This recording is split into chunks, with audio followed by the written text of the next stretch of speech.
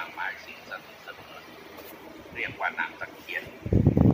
ว่ากันว่ารูปร่างหน้าตาสะสวยสดจดงดงามยาวสบายใจ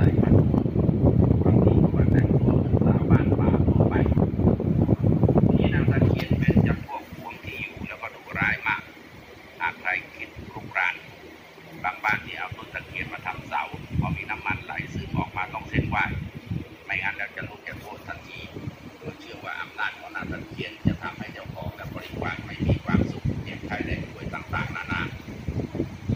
ตะเกียบที่อยู่ตามป่าตามเขา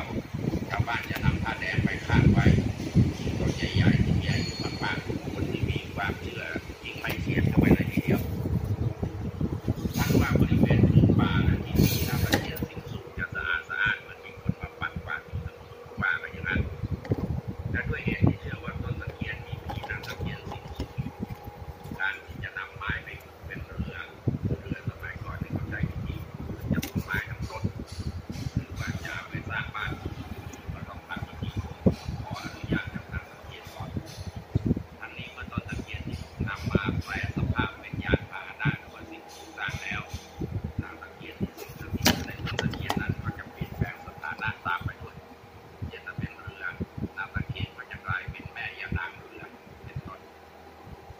เรื่องของตะเคียนเล่าไว้ในพุทธประวัติว่าเมื่อพระพุทธเจ้าทรงแสดงยมกปฏิหาร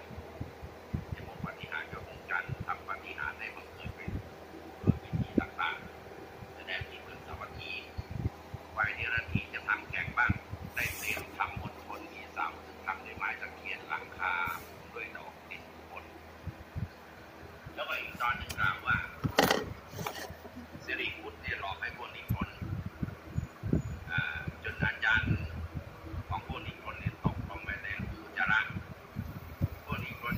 He's a bad, I don't know.